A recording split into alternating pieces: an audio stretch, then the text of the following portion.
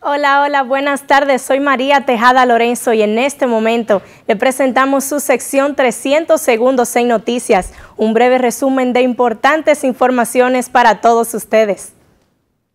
Pues de inmediato iniciamos y es que el elegido por el actual alcalde Abel Martínez a sucederlo en la alcaldía de Santiago, Víctor Fadul, en los próximos días dará a conocer al municipio su plan de trabajo. Escuchemos.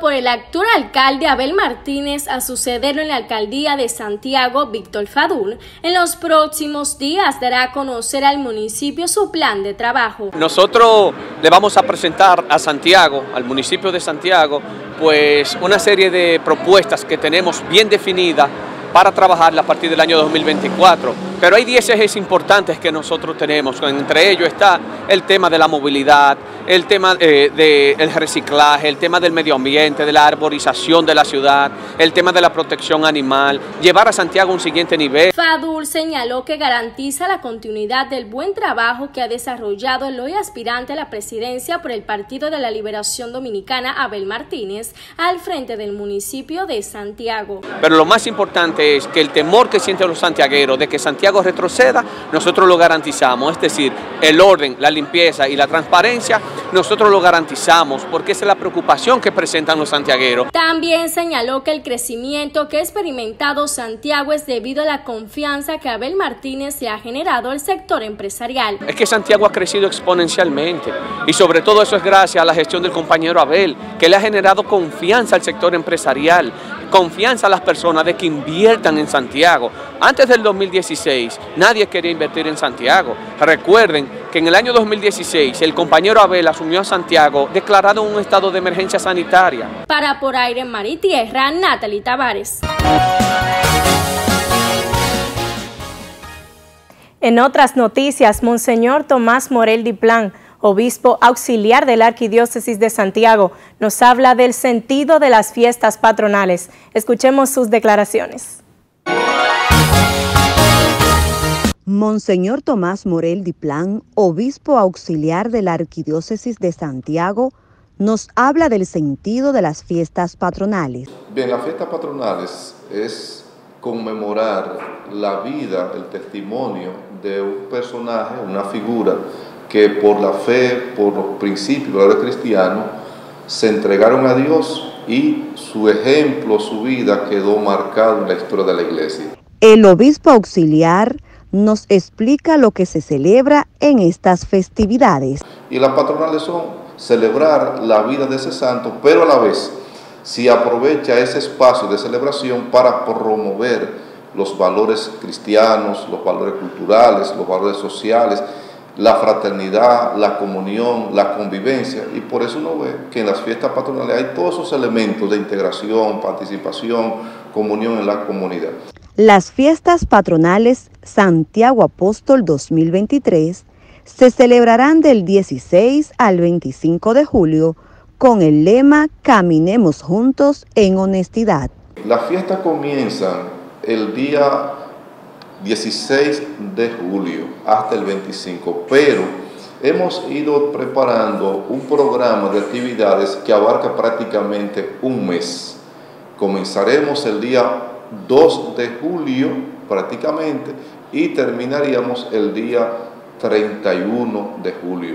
La festividad será transmitida a través de las diferentes plataformas digitales y como matriz Teleuniverso Canal 29 Radio Luz, Radio Amistad, Radio Jesús es el Señor, entre otros. Para Por Aire, Mar y Tierra, Amarilis Esteves.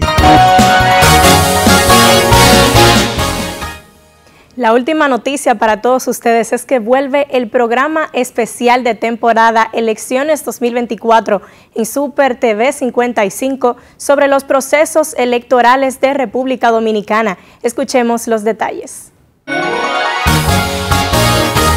Vuelve el programa especial de temporada Elecciones 2024 por Super TV 55, en el que los procesos electorales de República Dominicana serán dados a conocer. Estaremos un equipo de profesionales analizando, comentando, haciendo las encuestas eh, haciendo los reportajes, las cápsulas educativas que tienen que ver con los deberes, los derechos de elegir y ser elegido de la población. Políticos estuvieron presentes en el evento donde se ofrecieron los detalles del programa de temporada y valoraron el espacio porque entienden que contribuye a la democracia. Este es el tipo de espacio que debemos promover en la sociedad dominicana porque precisamente la democracia sin un periodismo independiente, sin un periodismo objetivo, sin un periodismo que pueda tener puntos críticos, no languidece, es un árbol con las raíces cortadas. Bueno, eso viene a fortalecer una vez más la democracia. Ese es un programa que tiene ya muchos años, con muchas experiencias, con eh, comentaristas calificados. Bueno, primeramente quiero felicitar a Adalberto de León y a Super TV 55 por este espacio que ya tiene varios años realizándose de manera permanente, continua. El comunicador Frank Rodríguez tiene a su cargo la conducción del espacio junto a un equipo de comunicadores expertos en política. Es un espacio de dos horas que inicia este próximo lunes 3 de julio de 7 a 9 de la noche. Super TV 55 difundirá el programa de temporada como una propuesta interactiva que resalte el proceso electoral que vive el país con miras al certamen electoral del próximo año. Para Por Aire, Mar y Tierra, Natalie Tavares. Bueno, pues eso fue todo por hoy en su sección 300 segundos en noticias. Nosotros nos reencontramos la próxima semana. Ustedes no se muevan porque a continuación mucho más contenido en su programa Por Aire, Mar y Tierra.